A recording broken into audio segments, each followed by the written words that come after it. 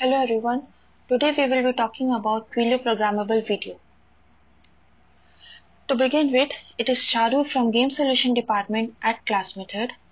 I'm an AWS engineer and my hobbies include dancing, trying different cuisines and traveling. Starting with what is Twilio? So Twilio is a cloud communication platform as a service it allows developers to build, scale, and operate customer engagement within software applications. It is fully secure and reasonably priced. The best part is it allows you to build fully secure and affordable cloud-based applications without any coding knowledge. Yes. And it also supports all channels on one platform. In this video, we'll be talking about, we'll be going through the Twilio programmable video demo and how to store those recordings of your videos in AWS S3. Starting with why should you choose Twilio? So Twilio can grow much faster than many other cloud communication companies because of large number of developers working on its platform. Hence, it is made by developers and it is for developers. It also has very easy integration and global user interface which is very easy to manage. It includes extensive documentation which has the answers of all your queries regarding Twilio. But how is Twilio Video different from other platforms offering video feature? So Twilio programmable video is designed to give developers robust video building blocks that can easily be integrated into the applications. Twilio provides complete control over the entire video experience from the user interface to the network infra infrastructure. It also offers a wide variety uh, range of APIs that allows developers to customize and extend video functionality far beyond what's possible with other video platforms. So here comes three types of video rooms provided by Twilio. WebRTC Go Room, peer-to-peer -peer room or P2P room and group rooms. Let's discuss about each one of them. Firstly, what is WebRTC Go Room? So a WebRTC Go Room, also known as, also known as just Go Room, can be used for one-on-one -on -one video calls. Go rooms use a peer-to-peer -peer topology and are similar to P2P rooms, which we'll be discussing just after this slide. However, the maximum, maximum number of participants in a Go room is two at a time. But there can be maximum of 500 concurrent participants at a time per account. For example, there can be 250 rooms with two participants each. Peer-to-peer -peer room, also known as P2P room. In a P2P room, clients need to send their media streams once per subscriber. For best video quality, we recommend that P2P rooms have no more than 3 participants in a video call. You can have 4 participants too, but the video quality will get reduced. For audio calls only, P2P rooms can have up to 10 participants.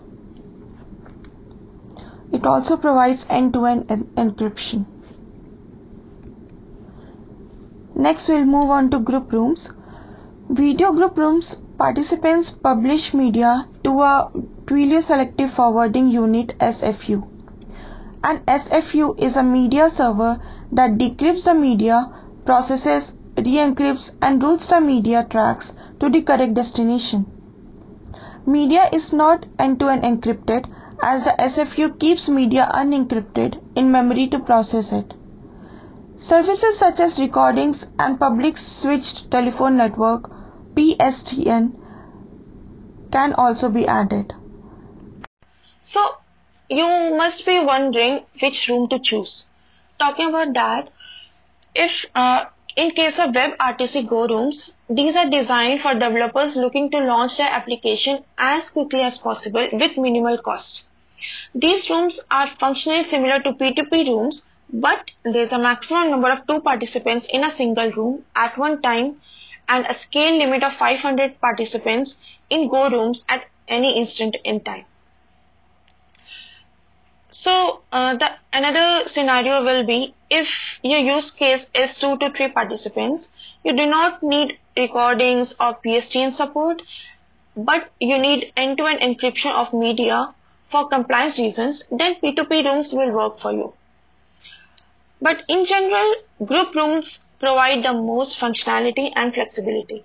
They support multi-party calls of more than two participants, recordings, PSTN, dial-in, dial-out, and additional quality controls.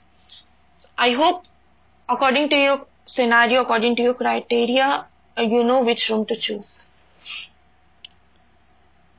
So from now onwards, let's get started with implementation of Twilio programmable video. So about the steps in detail, here is um, the blog provided by Twilio and it's a very descriptive blog. Uh, reading to it, you can deploy your own video collaborative collaboration app in just five minutes or less. Uh, so moving on to next step, I'll tell you how to uh, save the recordings in your S3 bucket. So here under the Twilio console, you, you have to come to the recording settings, which is under develop and video, which is under video under develop, yeah. So under recording settings, you have this option of uh, saving the recordings to external S3 bucket. For that, you have to press this enable button and add your AWS credential.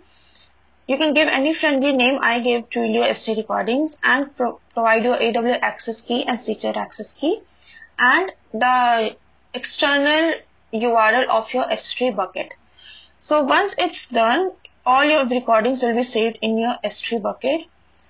As shown here, I'll go to my uh, S3 bucket and today the date is 26th. Yeah, so you can find the step-by-step -step instructions of making the Twilio programmable uh, video through this blog. I have already uh, created all those uh, steps. So I'll be showing you the further steps. After you, you just have to clone the Git repository and follow the further steps to get going. So to deploy the application, you have to run npm run deploy Twilio CLI. This will take a minute or so to give you the link to access. The link will be in this format. It will give you the web app URL and a passcode. So just have to access this link and enter the passcode.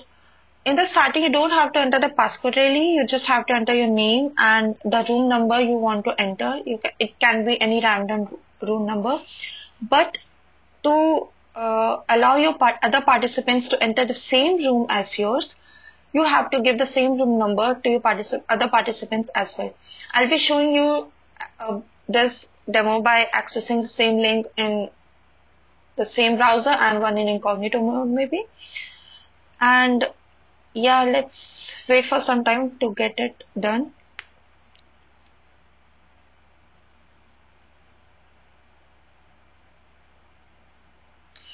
So yeah, it also gives you an expiry date of the room created.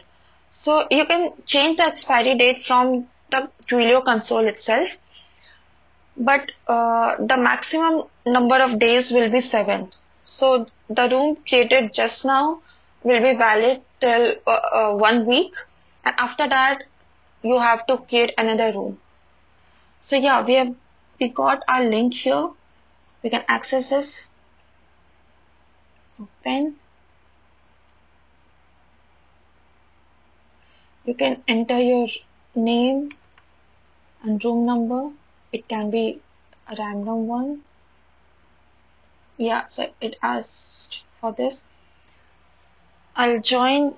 It also provides the noise cancellation portion. And as you can see here after joining the recording automatically started so this is the feature provided by the group rooms. And at the same time, I'll put it on mute. At the same time, I'll put this link in incognito mode. And if you remember, I gave the room number as 101. I'll be giving the same room number here. See, first time it didn't ask me for passcode but second time it will. So to your other participants you have to share the passcode as well. Oops. Passcode is invalid. Is it? Yeah. Let's try this one. Yeah. So next name maybe maybe I can give just Charu one on one. It can be any random name. And yeah, I have to give the same room number to join the same room. Allow. Mute.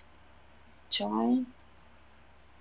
As you can see here, I'm like two participants already joined, but I'll disconnect here and I'll just enter another room, maybe Charu 201 and give a different room 201. You can see that I joined, a I'll be joining a different room. One, uh, the previous room number is 101, but the second one is 201. So that error might be, so yeah, as you can see here, uh, the recording of this room also automatically started. So going on further, I'll disconnect this and this. Yeah. So it's moving further. Sometimes I've faced this error that suppose if sorry suppose if I access I, I access this application after 1st August but it will still give me uh, the expired room link and passcode. So that will obviously not work because it's already expired. So it does that. It's, it might be a bug from Twilio. I'm not sure of that. So this override flag also does not work. For that, you can type the command Twilio RTC video delete. Yeah. So whatever the existing room will be, it will delete that room. Suppose if it's expired, then you can just enter this command. It will delete that room and then you can execute it again. You'll notice that the new room will have a different link and a different passcode. Yeah, so moving on to next step, I'll tell you how to uh, save the recordings in your S3 bucket. So here under your Twilio console, you, you have to come to the recording settings, which is under develop and video, which is under video and develop, yeah. So under recording settings, you have this option of uh, saving the recordings to external S3 bucket. For that, you have to press this enable button and add your AWS credential. You can give any friendly name. I gave Twilio S3 recordings and pro provide your AWS access key and secret access key and the external URL of your S3 bucket. So once it's done, all your recordings will be saved in your S3 bucket. As shown here, I'll go to my uh, S3 bucket and today the date is 26th. Saves the recording in MKV and MKA file. That means the audio and video files are separate. So clicking on it, you can, uh, the main uh, requirement is that your S3 bucket should be public and yeah you can download this and open yeah this is the video recording created yeah this was all about it i'll be sharing the list of these two three commands in the uh, description too yeah and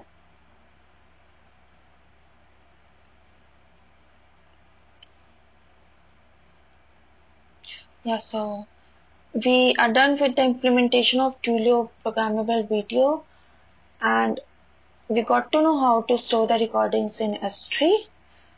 Yeah, so this was all about Twilio programmable video. In case you have any doubts, just make sure to comment it. Yeah. Mm -hmm.